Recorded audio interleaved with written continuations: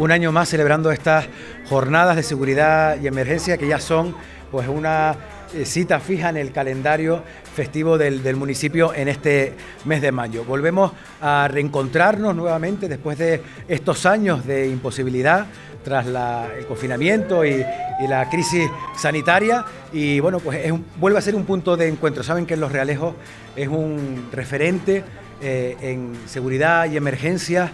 Eh, queremos siempre que sea una cuestión de primer orden y además una de las funciones importantes es acercar tanto los diferentes cuerpos de seguridad y emergencia como los cuerpos eh, complementarios de, sanitarios y de, voluntariado a la sociedad.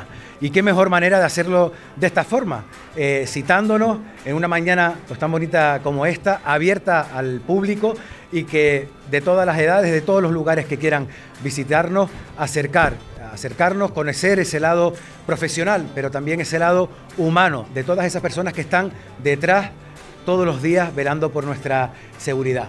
Desde aquí, bueno, pues agradecer la presencia también de todos los medios de, comunicación en esta mañana y agradecer también a todos los eh, participantes eh, por querer volver a estar en los ralejos eh, un año más. Invitarles a todos a venir, a participar y a disfrutar de esta jornada. vengo en representación del Mando de Canarias y del Servicio de Búsqueda y Salvamento. Nuestra principal misión es la búsqueda y salvamento de aeronaves accidentadas, pero también de colaborar con los organismos civiles en caso de catástrofe, necesidad pública o emergencia. Estamos eh, disponibles 24 horas al día, 365 días al año. Para ello contamos con medios aéreos como son los helicópteros Super Puma y el avión Casa 235 basados en la base de Gando del ala 46 y tenemos un centro coordinador de salvamento que se encarga de planear y dirigir todas las operaciones de dichas aeronaves. Van a ser unos simulacros, ¿no? Eh, sí, hoy vamos eh, enmarcados en las jornadas de seguridad y emergencias del, eh, del, Ayuntamiento de Los Realejos, vamos a realizar un, simulacro de lo que sería un rescate en montaña.